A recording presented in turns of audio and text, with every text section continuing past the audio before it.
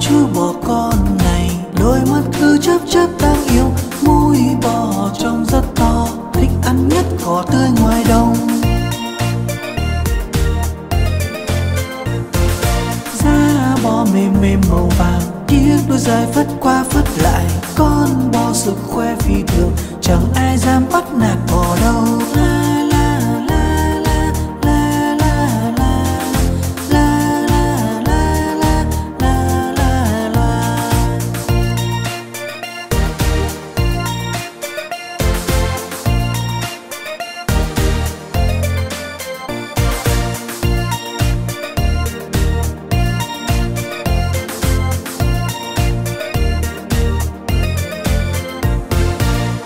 nó chứ bỏ con này, đôi mắt cứ chớp chớp đang yêu, mũi bò trông rất to, thích ăn nhất cỏ tươi ngoài đồng.